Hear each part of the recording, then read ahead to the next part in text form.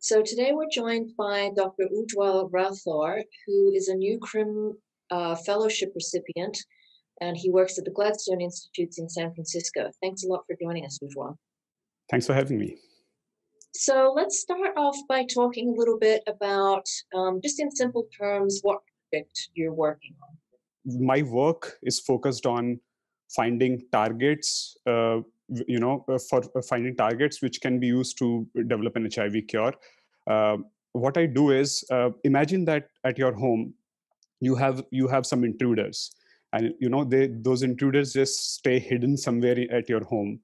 And you you know that they you know those in you know you, things are getting disappeared from the kitchen and from other places but you know you don't know what those intruders really need to stay hidden and to stay inside your home but you just want to you know uh, uh, get rid of those intruders.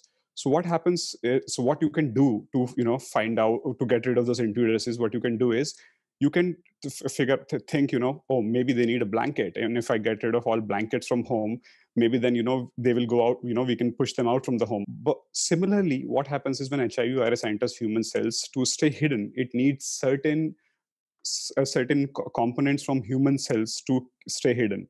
So what i my work is focused on is trying to figure out what hiv virus needs to keep stay hidden inside uh, inside the human cells so uh, you're talking about um, 20,000 human genes and you and you want to go through systematically um, to to people who are not familiar with the technique you're using that sounds like it would take a very long time or it would be a lot of work to take those out you know surgically one by one to see what the effect is.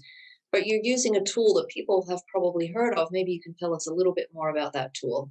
Yeah it's a very good question. So i'm using a tool which is essentially uh, molecular scissor. It's called CRISPR-Cas9. With these specific molecular scissors, what we can do is we can cut specific genes out from the human genome. So what you can do is basically, essentially, uh, you can tell the tool that uh, you know you want to cut a, one specific gene uh, in in one human cell and then that gene uh, uh, gets destroyed and uh, you know you don't have that protein anymore in the cell but what you can do is you instead of doing this for one gene at a time you can do 20000 genes in parallel you know in one simple single tube. Right.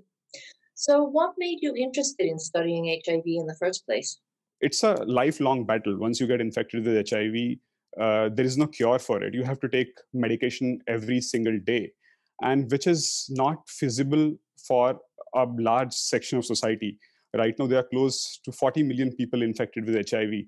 And then if you think of, you know, people will be in all kinds of different situations and think, you know, we can't imagine that everyone will be able to take a pill every day for rest of their life. So what attracted me towards this field initially was the difficulty of the problem.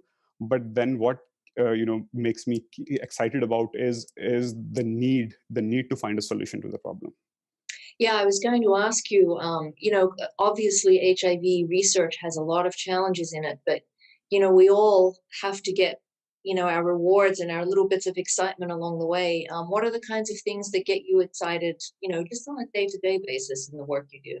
Often discussion with colleagues you know that's that keeps me excited about it because uh, when something is unsolved everyone has some idea about it you know how this must be working right?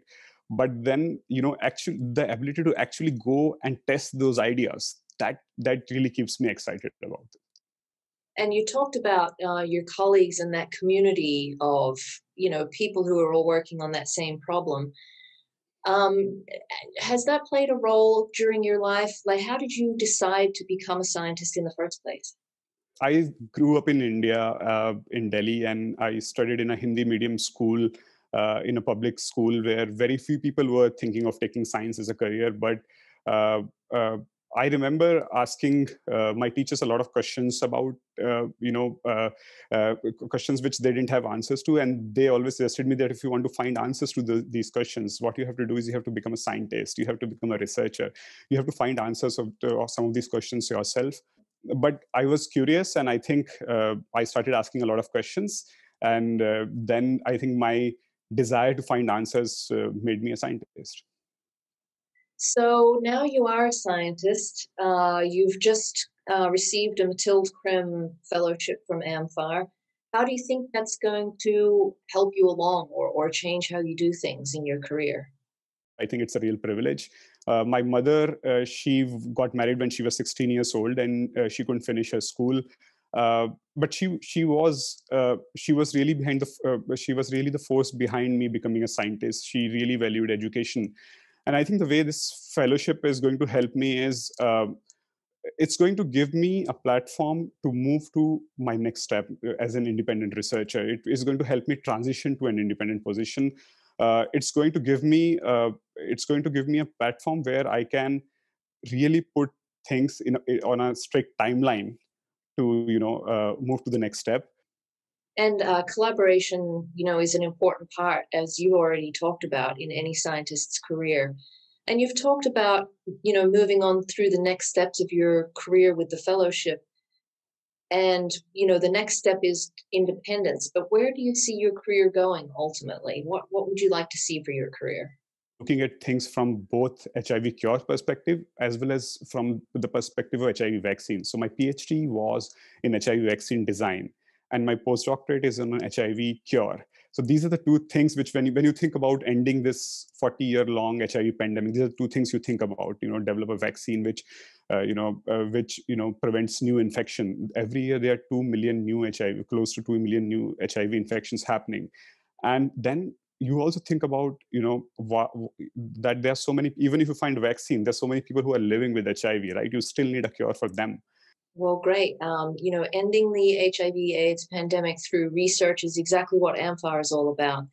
Thank you so much for joining us today. Wish you all the best in your career and can't wait to see some of the results as they come out. Thank you. Thanks for having me.